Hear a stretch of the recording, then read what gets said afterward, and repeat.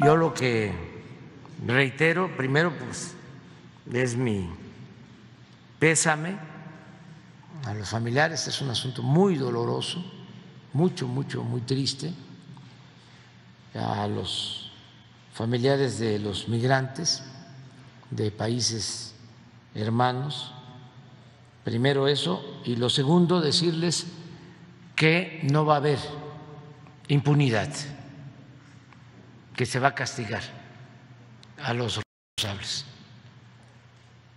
Y hablé con el fiscal para pedirle de que no haya ningún tipo de consideración más que el de hacer justicia,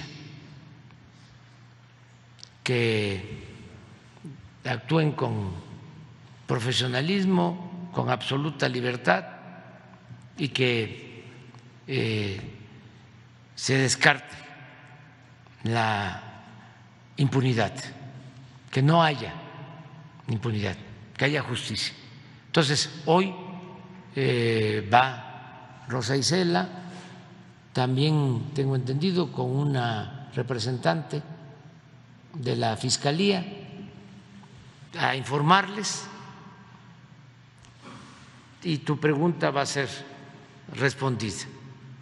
Pero no quiero yo este, meterme porque como está abierta la investigación, no quiero este,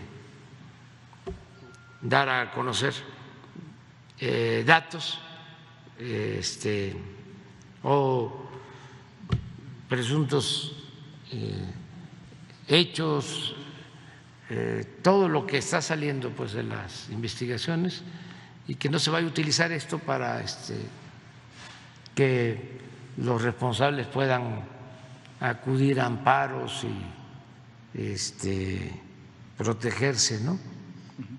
Por eh, estar adelantando información nosotros. ¿Ya habló con Francisco Garduño, presidente? Sí. ¿Va, va a renunciar o, qué va a pasar con él?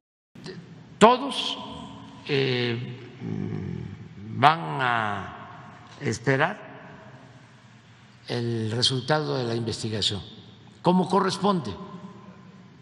Va a ser la Fiscalía la que va a eh, iniciar los eh, procesos judiciales correspondientes.